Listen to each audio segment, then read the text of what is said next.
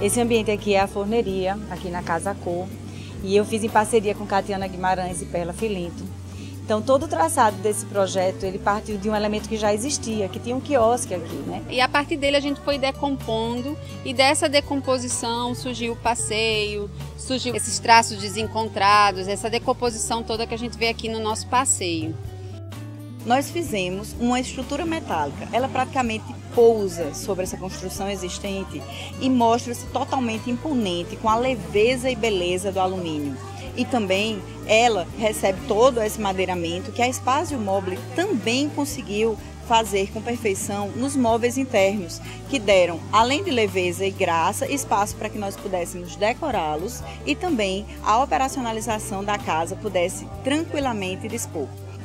A gente tirou partido do fogo, tem a lareira na entrada, né? A gente tem o ar, a gente tem a terra e a gente tem a água. Então a gente trabalhou com os elementos da natureza. A gente trabalhou com a pedra natural, que é a pedra almofada, bege. Então, é uma coisa que já, já se usa há muito tempo e estava pouco sendo aplicada. Então, a gente resgatou aquele, a utilização desse material e realmente também tem encantado bastante as pessoas. Dentro desse clima, desse habitat, dessa praia, então a gente tem as cordas náuticas, a gente tem o design sempre assim maravilhoso da Tidelen, que vem aqui somar mais ao nosso ambiente.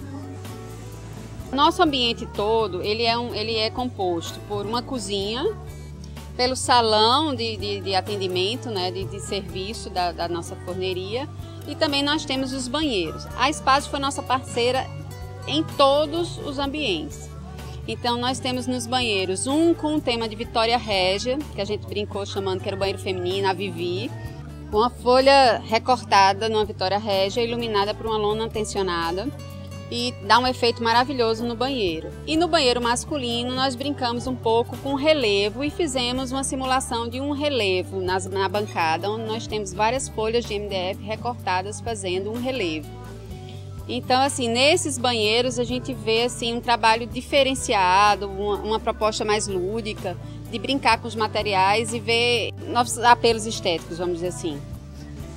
A Casa Cor, de uma forma geral, ela está toda recheada de muita vegetação, muito verde. Eu acho que essa é uma proposta a nível Brasil desse projeto Casa Viva da Casa Cor. A gente criou esse espaço que a gente inicialmente chamou de mirante e é um mirante, é onde a gente vislumbra toda a paisagem, o mar, a areia, o mar, os coqueiros. Em momentos você tem perspectivas dessa paisagem através dessa obra de arte de Demetrios Coelho.